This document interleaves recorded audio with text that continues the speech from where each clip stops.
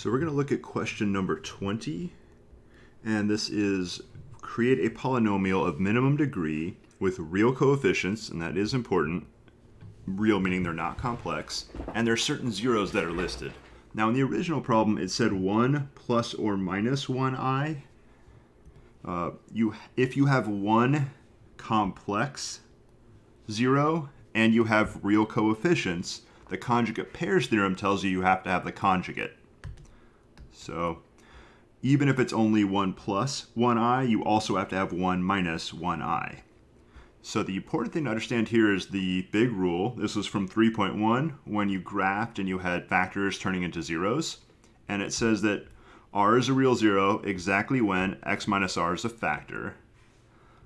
So what I'm going to do is write down zeros and then the factor they correspond to. And this actually does not even require the zero to be real. R is a zero exactly when x minus r is a factor. So I'm going to write all the zeros on the left. And just a reading at the top of the screen, we have x equals 1 plus, I don't need to write 1 times i, I can just write 1 plus i. You also get the conjugate, 1 minus i. And there's a third one, x equals negative 1. I'm going to write the last piece of information, y-intercept at 8. This is not a 0, so I want to split this off from the zeros. So y-intercept, it just says at 8. Let's be a little bit more careful with our notation. What that means is if you plug in 0, you're going to get out 8. What that would look like on a graph is your y-intercept would be up here at 8. So when your x-coordinate is 0, your y-coordinate will be 8. So in function notation, that means f of 0 equals 8. All right, so let's go ahead and apply this big rule here. This is a correspondence. So I have a 0. The factor it corresponds to is x minus that 0. Now, in order to properly subtract, you really need to subtract the whole 1 plus i, not just subtract the 1. I like to put factors in parentheses. Our next correspondence is x minus, now we have 1 minus i. And last one we have x minus minus 1. You can definitely uh, simplify these a little bit if you want to. You can distribute your negative sign here. So you have x minus 1 minus i, x minus 1 plus i, because that negative distributed, turning it positive. And the last one here is just x plus 1. All right, so that's all of our factors. Let's label those as factors. They are written as factors, but might as well label them. All right, what do you do with factors? You multiply them. So our polynomial that we're going to create, so we're just going to write all the factors multiplied out.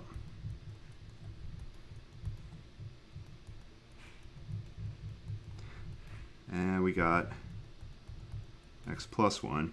There's a hidden factor, it's a numerical factor, and typically we use the letter a for that.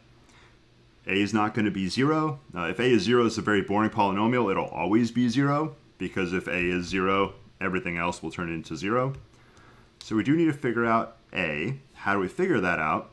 Well, we're going to plug in 0 for x. So find a by plugging in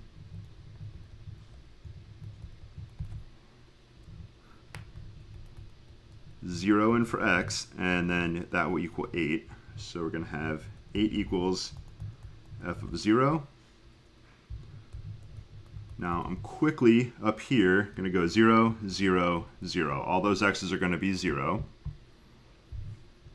Don't forget the a is still there. a is what we're trying to find. Minus 1 minus i. Minus 1 plus i. And 0 plus 1 is 1. All right, so how do we multiply these? Uh, well, it's easy to multiply 1 because you're not doing anything. So we really want to multiply the 2 in here. Now they're also conjugates, and let's do a real fast conjugate review. Uh, we always use A and B for conjugates. I know I'm reusing A up here, so I'll just put a c in here. All right, when you multiply conjugates together, you get c squared minus b squared. And if you're wondering where's the outside inside, well, they're right here. You get plus cb and minus cb, which cancel out. All right, so now ready to multiply this. Negative 1 times negative 1 is 1. All right, i's are a little bit more tricky. So it's going to be minus uh, i times i is i squared. I'm not even going to write the 1. All right, now that you see this conjugate product down here, you should have seen this a lot of times, so I'm going to erase it. All right, i squared is negative 1.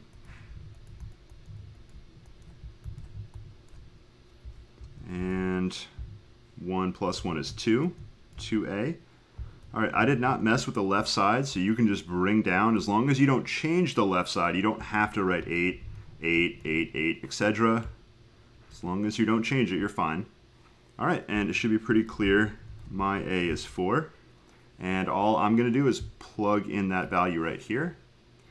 That will be my answer. Uh, they did ask for it in standard form, so they probably want it expanded. And I'm going to make a separate video for that because it's going to take a little while, and that's uh, really just an algebra problem.